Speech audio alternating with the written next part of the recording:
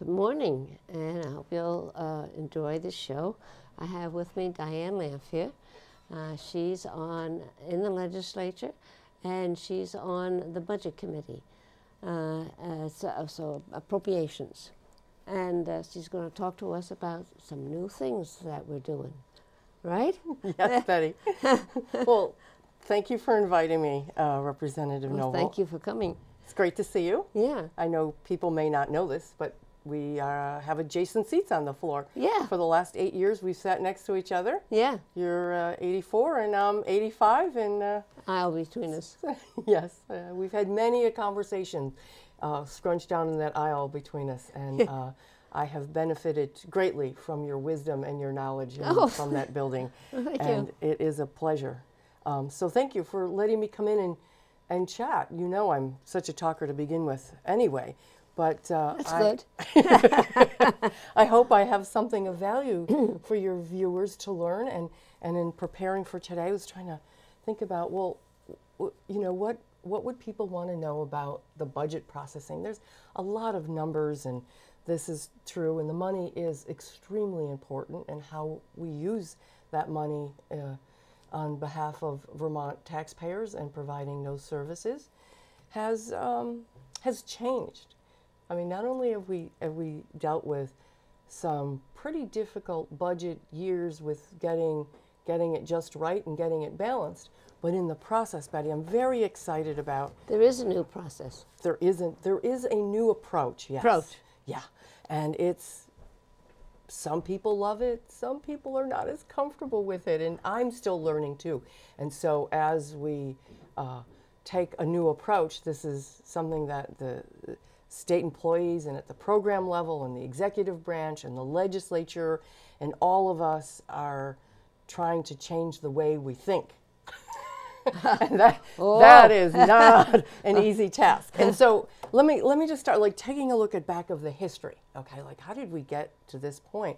Um, you know, historically in, in budgets, you know, even 10, 10 15 years ago, um, you would if you come in with a program and maybe you had a really good you know program that provided services for the homeless or you um, provided services to help farms in, in ag education you know you did good work in the state. So you would come in and your budget maybe last year was x dollars and you would say you would say what, what should be my budget this year? Would be last year's plus inflation would be an adjusted probably a reasonable approach to take to saying my budget should increase by the the inflation. But um, that doesn't work anymore. Well, we're not. And we started asking the questions because people would come in and say, "Well, here's my budget. This is what I did last year. I served this many people doing X, or I provided this much." And and they have a right to be, as we, very proud of that. Yeah. But what we were maybe missing the boat a little bit on is saying, well, how well did you do it? Not how much only did you do, but how well did you do it? And then the other question, which I know you're familiar with, is, yeah. is anyone better off? Yeah, anyone better off. That's a very important part. Yeah. So how are we measuring what we're doing? And it baffled people at first. It's, yes. you know, they felt maybe a little bit isolated or singled out, which we don't want to have that. It's sort of a new way of structure looking at how are we using the taxpayers' money and being accountable for it. And um, that brings us into that new approach started, you, you recall years ago, the Government Accountability Committee. Mm-hmm. We have mm-hmm. some senators, yeah. we have some House members looking at how does our government improve the way that we're accountable to our taxpayers for the dollars and for the services. And for the help. And, and, and are we getting it right? Yeah. So, all right. So they started off the, um, looking at it, and I know you've heard, and people may have heard, so I'm hoping this catches on. You'll hear RBA, RBA, RBA, results based accountability. Results based accountability. Correct. So that when you say, I want a million dollars for my nonprofit, you have to say, what happened? How are the people? Who, who did you help and how did you help them? And what, Well, well, the wording may be a little bit more the- complicated, but uh, you know, did But you you've got really it right. help? It's the goal. That's it's the important. goal to help the people. Did we get it right? Did we get? So um, we've started asking ourselves these questions and, and sort of percolating that into committee work. So at the same time this is going on, and if you recall, last year we have a new chair of appropriations, Yes. Mitzi Johnson, who's also a breath of fresh air and is approaching our budgeting as really inclusive of all the committees. In the past, whether rightly or wrongly, they may have, policy committees may have felt out of uh, uh, out of the process. Okay, so we're also looking toward the policy committee to inform and make decisions around their the budgets within their own programs. So if, if I'm on uh, judiciary, then one of the programs would be the, the judicial, whole judicial thing. How is Yes. it working? Is it serving the people? Is it timely? That Mm-hmm. kind of stuff? Yes. Yes. What are the goals? What do we want to, how, where we are in Vermont and what do we want to accomplish? So through that process now in 2014, and I remember this floor debate with you, we passed uh, a bill, Act 186 in 2014, and that bill um, actually expanded the, the programmatic, if I get that right, programmatic performance measures for budget pilot Those programs. big words. Oh, I, I actually made notes so I could make sure that I got it just right. Okay. So we started a pilot. We couldn't expect everybody in state government to change overnight.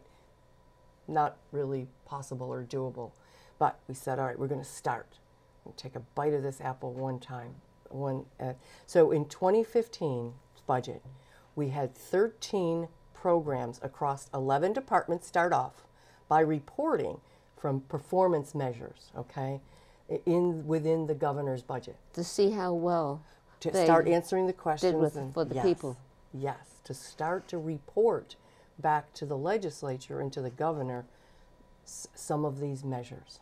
Okay, measures then are created by um, the legislature body. We set the population outcomes. We say this is what we want to do, and I'll get to those in a minute. We set that that level, and then the program level.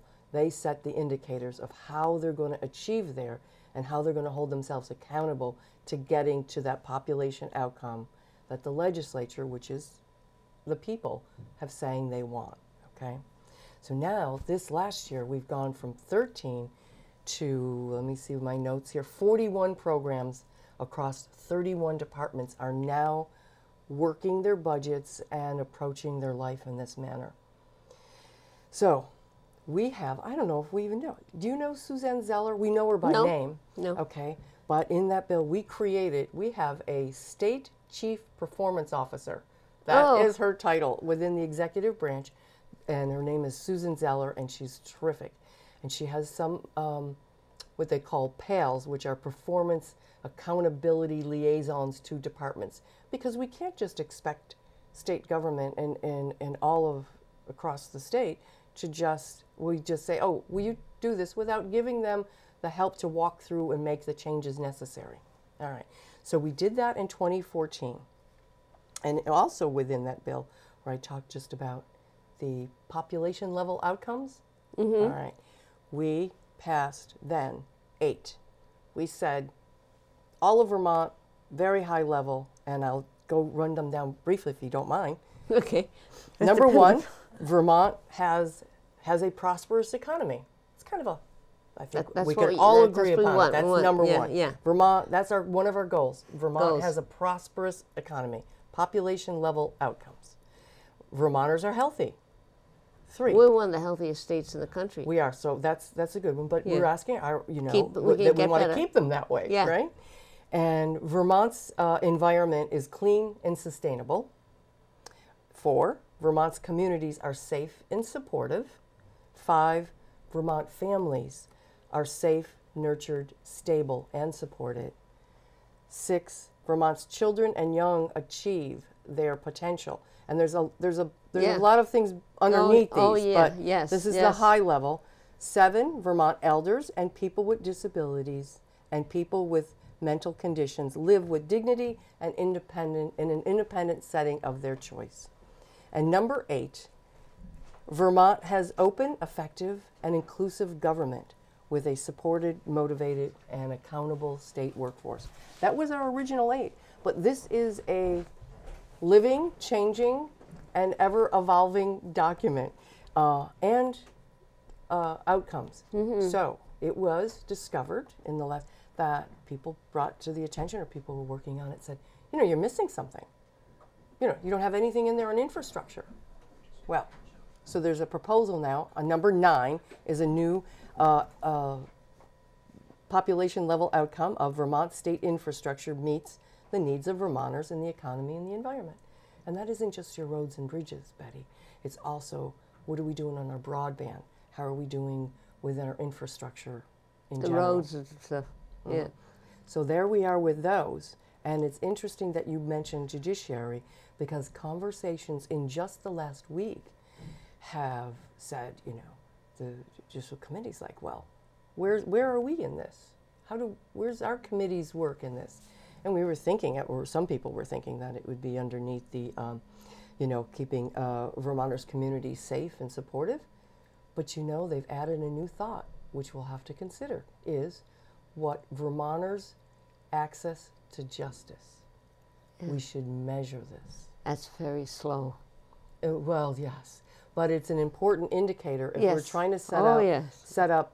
If we if we had all of these things, this would be the Vermont we'd want to live in. This is the kind of Vermont we want to live in. So those are the population outcomes. But the uh, the Mm-hmm. Constitution says we have to have justice, you know, Yes. right away or soon, uh, and uh, we're not doing that because they don't have enough judges, they don't have enough money, and they can't handle all the cases adequately. Yeah, we're hearing that, especially right now in the in the uh, uh, termination of parents' rights and, and discussions around children and, and and the child protection issues in the state, which are all really uh, uh, stemming from our addiction issue. Yeah. But which is what brings me to what. So there's this is a this is continuously being improved and and modified, and so we have to ask ourselves, the all of us. This is where it gets tough for all of us to change the way we think, legislators, executive branch.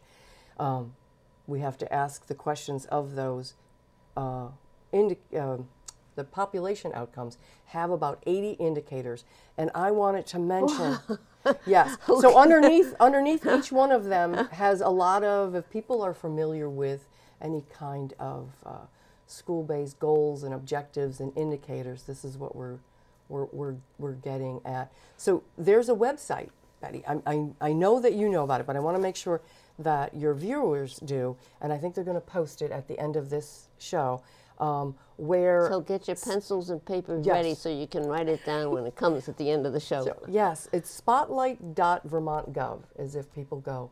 And spotlight. If we put a spotlight on Vermont and we put a spotlight on these particular um, population level outcomes, and you can go to that website and those nine indicators that I talked, or the, and I shouldn't say, I used the wrong term there.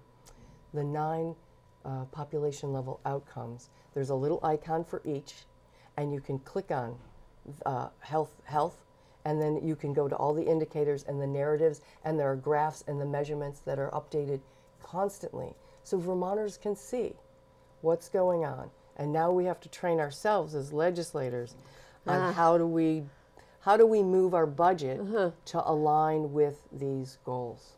Yeah. Uh, so how do we get to the goals Right. so and we can get the budget? Right. so in committees, this is where it's changing and Yeah. evolving. Right now, the House right now is doing a lot of work on this. I'm not sure how much time I have on this, but um, I, I talk a little bit about what's happening in the House committees right now. Are working with uh, members from the Government Accountability Committee, and they're looking at their population indicators and asking particular questions. Especially, Betty, if you get a bill in your committee, uh, we're asking policy committees if they could um, take a look at it from asking a few questions like, is it solving a real problem?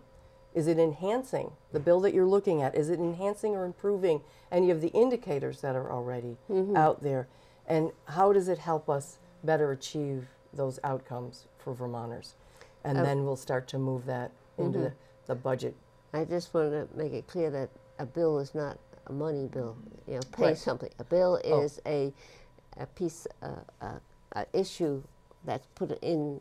I want to do this. A proposed or idea. A proposed idea. Yeah. I propose that we do X, Yeah. right? Yeah. And then we then we and they call that a it. bill. hmm And then, then that bill goes through the committees and then a vote on the House floor. Opening the conversation Yeah. opens the conversation. All right. All right. Go ahead.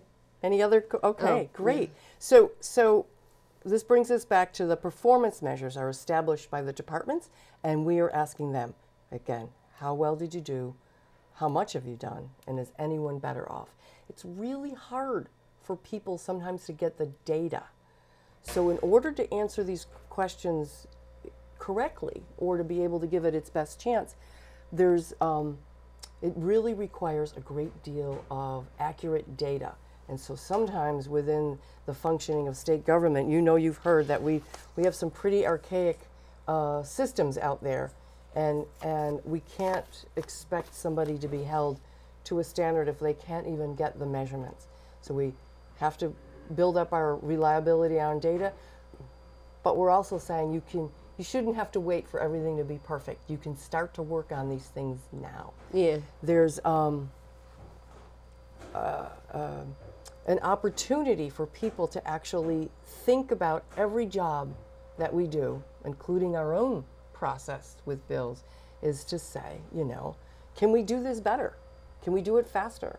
Is there a way to, we should question the process and uh, how we get there and not always just say, well, we've been doing that 100 years and that's how it's done Yeah. and there might be some truth to that and there may be some law but we should be challenging ourselves to saying why are we doing it that way? Can it be done a different way? Yeah, they can. and and this goes to probably an example of probably one of the more exciting things that happen.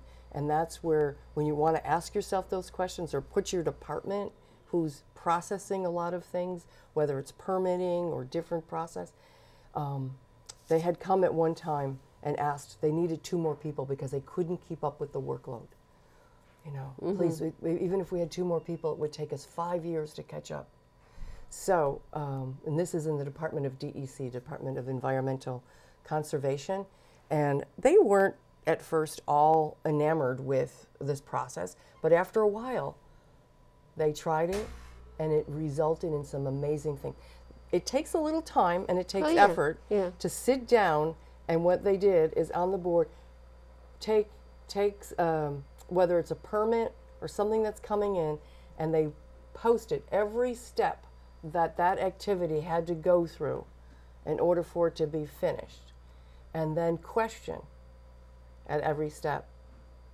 is that needed does it bring value do we really have to do that anymore? Yeah. Yeah. and then try to condense it or justify it. And they discovered in that process things that they thought they had to do by this here, not necessarily so when you dig into it.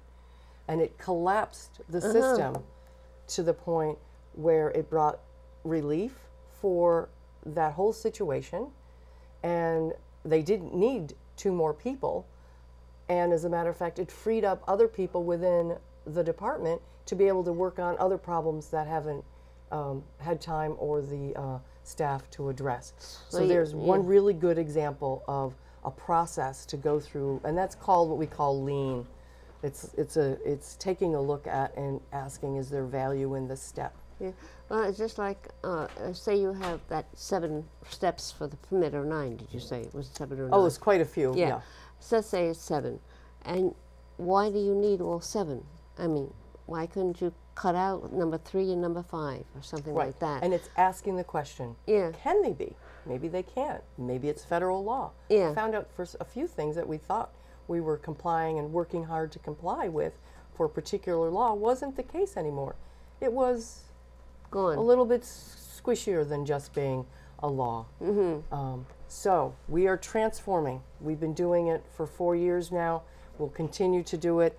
And I think I'll bring you to the, the end, Betty. And I know that we sat on the floor, and for the first time ever in the state of Vermont, the budget bill came to the floor with intent language. The What did- floor being the whole, the- legis- the- the whole, correct, whole I'm sorry. legislature.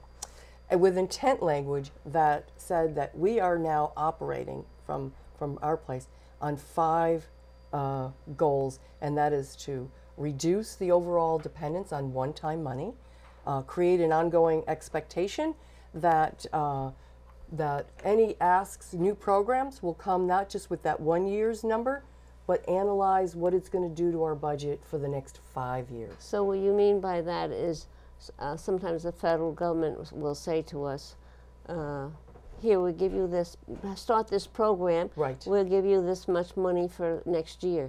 Right. And then we end up on the second year, where's the money coming from that? Where's the money coming from? We Yeah. started the program and it was good, and oops, now we're three years out. So maybe we better ask ourselves at the very beginning do we want to go down that road? What is that road looking like in mm-hmm. five years? So we've made that now a part of law that they are to come in with multi year analysis on what they're asking for.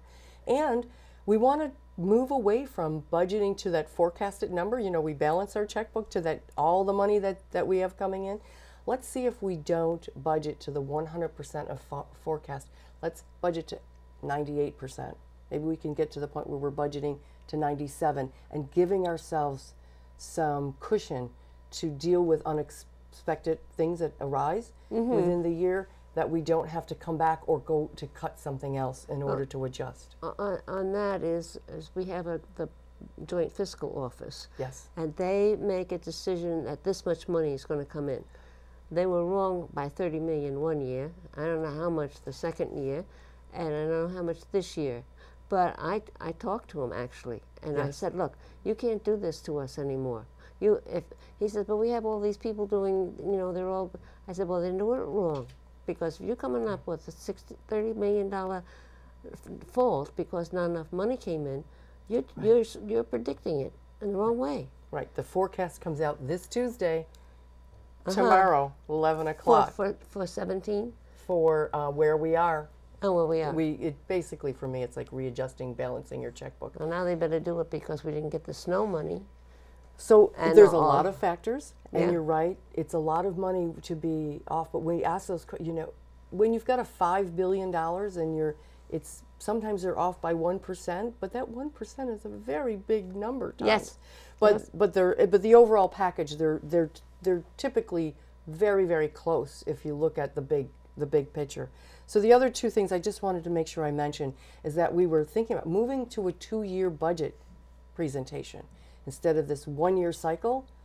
What does a two-year budget? You see, the capital bill Uh-huh, does good. this, and and and how would that create a better, stable, uh, reliable source over a longer? And then we would have a bigger budget adjustment that's coming up, and um, and then of course in here we extend the uh, uh, the inclusion of those key uh, population level outcomes and the goals, and starting to really hone our language into Mm-hmm. talking about that.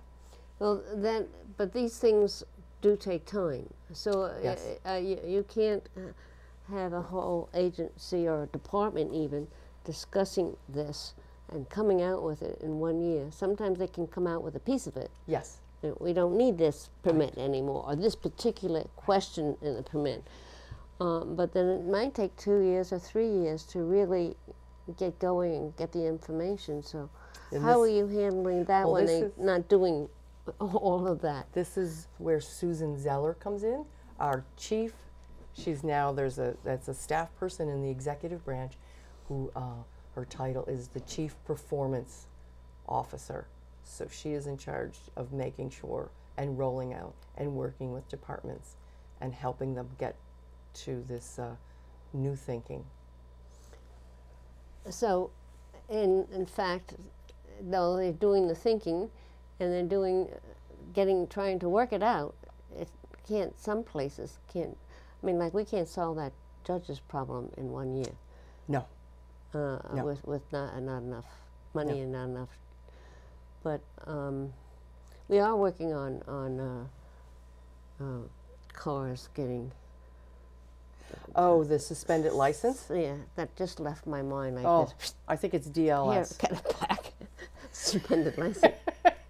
So, Betty, I'm the same way. I can remember numbers far better than I can remember names. So, so that would help if we can get Yeah. the Judicial Bureau and the courts not to have to do so many suspended budget. So uh, if, if I go through a red light, I get a suspended license. I gotta get to work.